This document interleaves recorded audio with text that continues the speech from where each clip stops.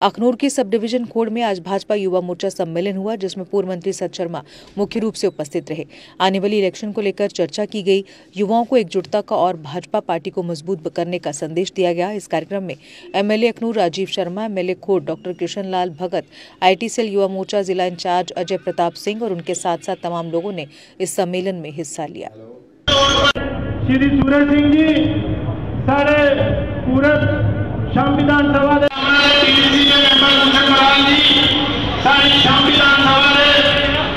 संयोजक सारे सारे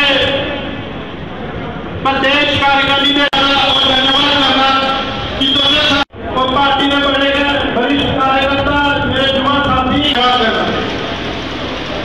साथियों शासन ज़्यादा बात है युवा की बात है और एक युवा देश है आज करना जगह आज के युवा बोलेगा कि ये ये मुका मुका गुजरा ताकि सारे पता ये वहाँ से आपने कुछ गाते रहते बड़बड़ किए था आपने अपने उन्हें साथी भी उन्होंने की भारतीय जनता पार्टी भारतीय जनता पार्टी युवा मोर्चा जिंदाबाद युवा मोर्चा जिंदाबाद युवा मोर्चा जिंदाबाद शुक्रिया सबसे पहले तो मैं आभार प्रकट करना चाहता हूँ हमारे युवा मोर्चा के अध्यक्ष विकास जी का। हमारे जिला के अध्यक्ष राजीव जी का, सह प्रभारी प्रभारी हमारे राणा जी का, सह प्रभारी मनमोहन जी का। ये जिनके माध्यम से एक भव्य युवा सम्मेलन हुआ। आज पूरे देश भर में पैंसठ प्रतिशत से भी ज़्यादा हमारी आबादी जो है, वो युवा शक्ति है। और युवाओं के कंधे के ऊपर ही आज भी देश का भार है और आगामी आने वाले समय में ये युवा शक्ति जो है, एक स्ट्रांग तरीके से इस देश को जो है, वो आगे ले जाएगी। और मैं समझता हूँ कि जिस तरीके से आज हमारे इस छम कॉन्स्टिट्यूंसी में इस घोड़ में यहाँ पर जो हम लोगों ने कार्यक्रम रखा था, जिस तरीके का कि जोश हमारी इस नौजवान शक्ति में है हमारी मातृशक्ति भी है, और जिस तरीके से आज एक भव्य बजट जो है वित्त मंत्री साहिबा द्वारा जो है वो पेश किया गया, उसमें मैं उनका आभार भी प्रकट करना चाहता हूँ। उन्होंने हमारी मातृशक्ति के लिए भी एक बहुत बड़ा इंसेंटिव जो है वो रखा है ताकि नौजवान शक्ति, हमारी मातृशक्ति जो है, इस देश के विकास में काम कर सके।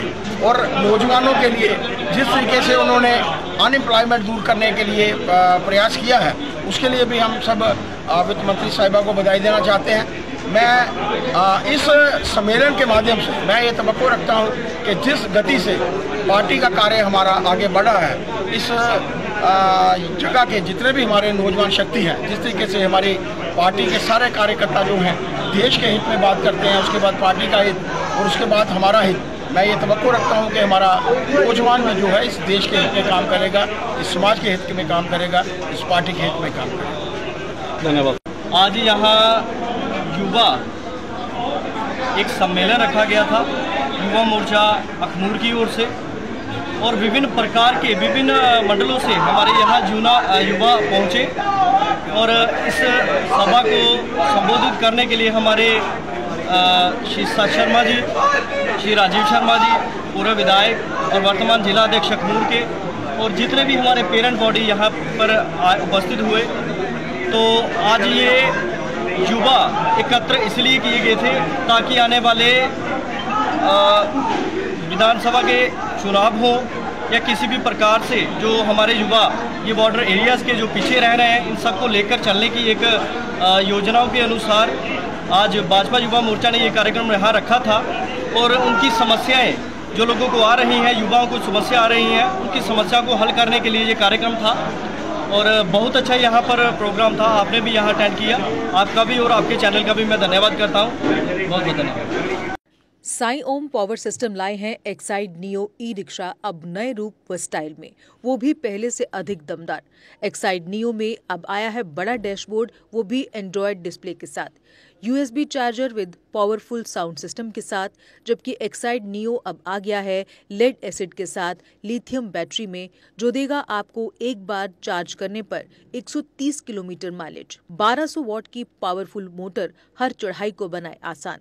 पावरफुल शॉकर व बेहतरीन सस्पेंशन फ्रंट में अधिक पावरफुल शॉकर नए मज़बूत एलॉय व्हील अधिक रोशनी वाली हेडलाइट व इंडिकेटर मज़बूत रूफ टॉप कैरियर व गर्मी से बचाव के लिए रूफ मैट जबकि यात्रियों की सुरक्षा के लिए राइट साइड प्रोटेक्शन वहीं यात्रियों के साथ सामान ढोने के लिए एक्साइड नियो बन जाएगा पहले से बड़ा, चढ़ाई चढ़ने के लिए हैवी गियर व अधिक पकड़ वाली हैंड ब्रेक यानी एक्साइड नियो ई रिक्शा अब नई लुक के साथ आया है नए फीचर्स में. इस वीडियो को देखकर आने वालों को मिलेगा इक्यावन सौ रूपए का कैश डिस्काउंट। तो देर किस बात की? आज ही आए और ले जाएँ अपना नया एक्साइड नियो ई रिक्शा हमारा पता है Sai Om power system last matador stand Anand Nagar, Buhri, Jammu. Phone number zero one nine one, two double five, four three six zero. Two double five, four three five nine. Jammu Kashmir की खबरों के लिए जुड़े रहिए GK update के साथ।